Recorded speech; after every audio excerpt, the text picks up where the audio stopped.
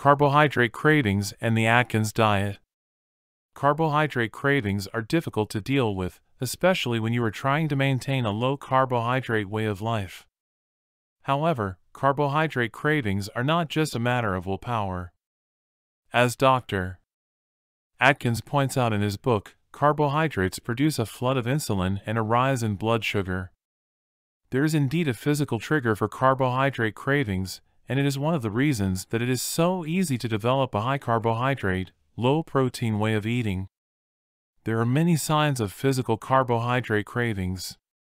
You will experience a compelling hunger for carbohydrate rich foods.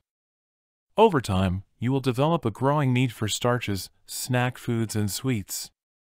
Additionally, you may experience cravings and weight gain after using some of the carbohydrate act-alikes such as sugar substitutes and alcohol. High carbohydrate foods are everywhere, which makes the cravings even harder to overcome. Eating the high sugar, refined starch foods will feed your cravings and create more, much like a drug habit. In fact, high levels of carbohydrates produce high levels of the brain chemical serotonin, which is the chemical found in Prozac and other antidepressants. So eating high levels of carbohydrates is self-medicating. People with low levels of serotonin are prone to using carbohydrates like a drug. Tension and stress can also lead to overeating carbohydrate-laden foods. When we are tense, the adrenal gland creates more cortisol. Cortisol is a hormone that stimulates production of a brain chemical that causes carbohydrate cravings. It also stimulates insulin, which leads to blood sugar dips and more fat storage. Considering all of these factors, it may seem impossible to live on a low carbohydrate diet. However, following the Atkins plan is one of the best ways to break the cycle of carbohydrate addiction and take back your life and your health. The Atkins plan helps you take control of your cravings and rid yourself of years of damage caused by eating too many carbohydrates. While on the Atkins diet, you may experience some carbohydrate cravings from time to time, especially during the initial phases of the diet. However, these will lessen as your body becomes more used to eating a protein-centered diet. In order to keep your cravings in check, eat small meals or snacks that contain protein every few hours.